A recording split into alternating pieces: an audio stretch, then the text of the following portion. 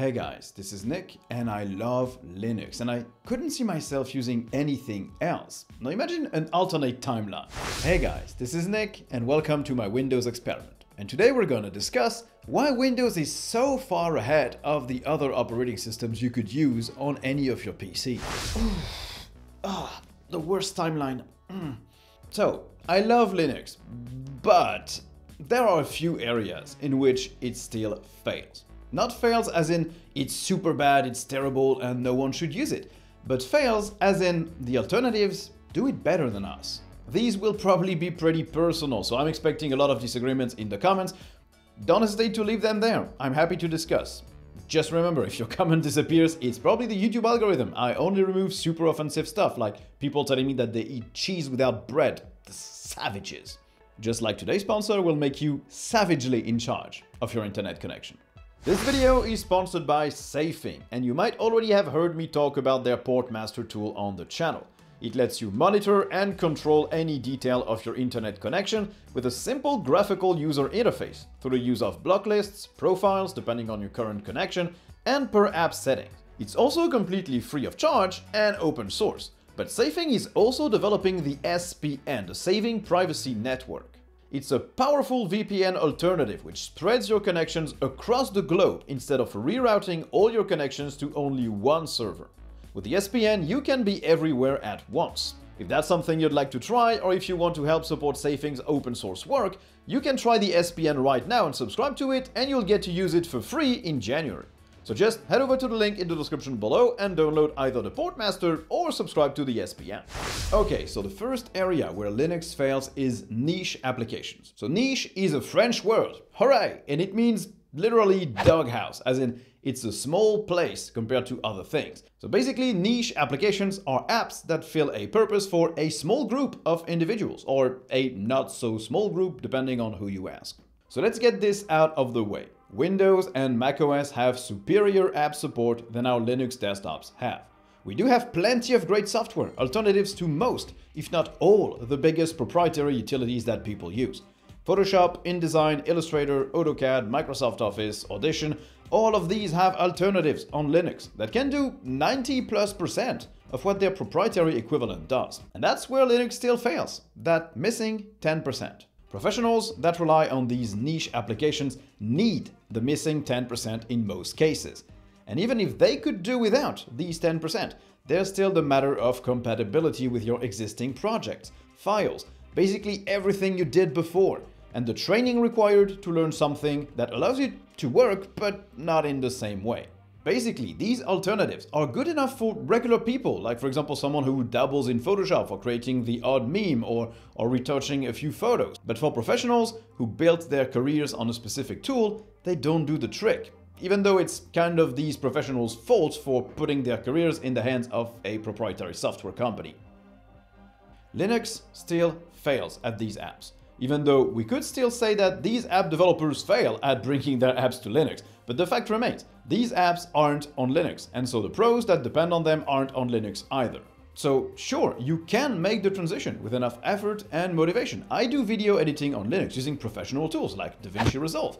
People can do it as well. The thing is, you're gonna spend a lot of time getting to the point where you already were before making the transition. So there's no real net gain here in terms of pure productivity. Second area where Linux fails is gaming, and oh boy, am I going to get some hate for this, but it's true. Look, I'm not saying you can't game on Linux, you can, and I do. Most of my gaming is on Linux, but gaming on Windows is still much, much better, much easier, and a no-brainer for most people. We've come a long way with Proton, Steam Play, the Heroic Games Launcher, Lutris, and plenty of other awesome utilities. Gaming on Linux is a reality for single player titles. If you love your day one multiplayer session for AAA games, Linux is not going to work for you. Anti-cheat is coming, maybe, if the developers decide to update their games at some point in time in the future. Maybe. Who knows? In the meantime, 50% of the top 10 most played games on Steam don't run on Linux for multiplayer or at all. And that number grows if you start looking at games that aren't on Steam. You've probably all seen the LTT video series. While I don't agree with everything they said there, or did, or with their conclusions. I do agree that Linux gaming is not ready for the general public. Now, for enthusiasts like me, or like plenty of you, Linux gaming works like a dream. The small hiccups, the small tweaks that we have to do, the small delays, they don't matter at all to us. But for the average Call of Duty Joe that just wants to pawn some noobs on day one, Linux doesn't fit the bill. Windows is better. We have to admit it. Things might pick up in the future. Maybe the Steam Deck will make developers implement anti-cheat, or maybe even support Linux officially. Who knows? It's too early to tell. But for now, Linux fails at gaming when compared to Windows. Now, when compared to macOS, it just destroys it and will continue to do so as long as Apple decides to not support anything other than Metal. No one uses that Apple, no one. Now, the third area where Linux fails is hardware. And I know Linux has nothing to do with hardware, Linux is a kernel, and actually a kernel has a lot to do with hardware. Yeah. First thing is, Linux distros don't ship pre-installed on most hardware. We have tons of hardware manufacturers and resellers, and even bigger ones like Dell and Lenovo start shipping devices with Ubuntu or Fedora. We have Tuxedo and Slimbook, Starlabs and System76, Entroware, Purism, Juno Computers, the Pine 64, and probably a lot more that I'm forgetting. And they make great stuff, sometimes even designing their own devices like Purism, Starlabs, Pine 64 or System76. And every time I review one of these devices, I generally find them pretty cool to use, I use some myself as my daily drivers, but none of these devices are making their way into Walmart, Target, Carrefour, Fnac, whatever your local retail store is at your favorite place of residence. No one can go into these stores and play with a computer that has Linux pre-installed on it. And some will wonder, what distro should they ship? Which version? Which DE? It would be too complicated. People would still buy the thing they know. And my answer to that is none of it matters. Pick any distro, any desktop, GNOME, KDE, Fedora, Ubuntu, Dell could have PCs with Ubuntu, Lenovo could have PCs with Fedora. Who cares? It doesn't matter. The goal is to make sure that people see that these options exist. They probably won't buy them outright, but after your second computer renewal, maybe you decide to go for the one that's slightly cheaper, with that interesting looking OS. And even if you don't, maybe you just start researching that new OS Maybe you stumble upon this channel and subscribe to it. Maybe I become a billionaire. Everybody wins. Or, you know, at least manufacturers make sure that they have drivers, good drivers for all these laptops and PCs. So basically, Linux fails at making itself available on more hardware ready to buy from a general store. And that's probably the biggest issue we have to solve. The final area where Linux fails is the choice. Oh, not because we lack choice, or because we have too much choice, just because we suck as a community, myself included, at presenting those choices in a legible and understandable manner. DistroWatch is not a good resource for picking a distro. Its ranking system makes no sense for newcomers, and the website looks straight out of the 90s. No way anyone wants to browse that to find which distro they should use. Distro Chooser is way more user-friendly, but after you completed the questionnaire, you're presented with something like 40 options, which doesn't narrow it down at all. It's almost even worse, because it makes it look like the community doesn't even know what to recommend to newcomers, which is true, we, we don't know. What would you recommend? Write in the comments, and I'm pretty sure I'll have as many comments as I have viewers. And the thing is, all these answers are valid. Well, not all. Some distros should really never get recommended, like, like Hannah Montana Linux. Almost all these answers are valid.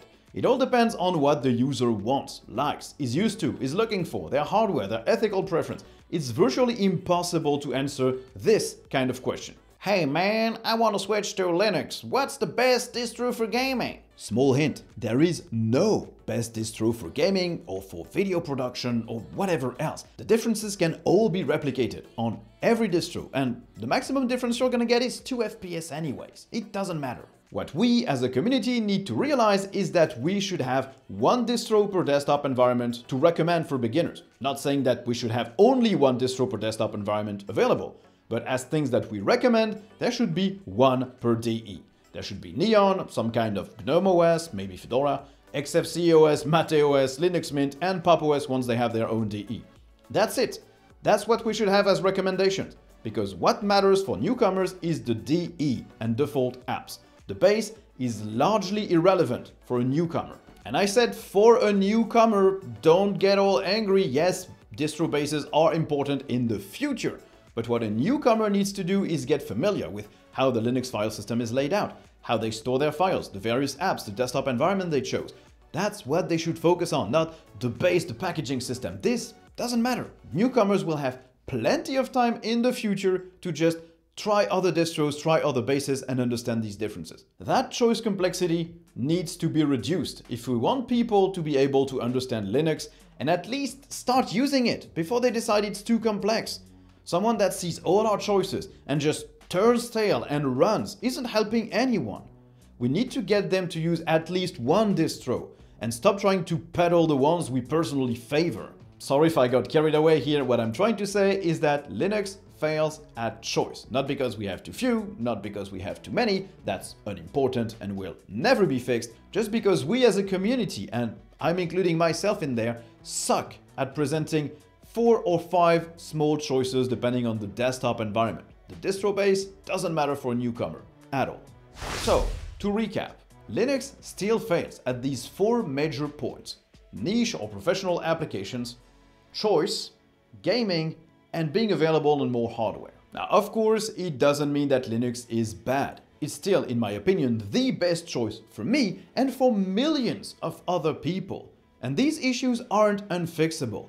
I'll try to outline some solutions that we can try to implement for each of these problems in future videos, so definitely subscribe if you want to see that. And if you want to see a fantastic gaming laptop at crazy low prices, stick around for this offer made by Slimbook, which also made this video possible. They're giving you a 300 euros discount on the Slimbook Titan, which has the latest Ryzen CPUs and RTX graphics.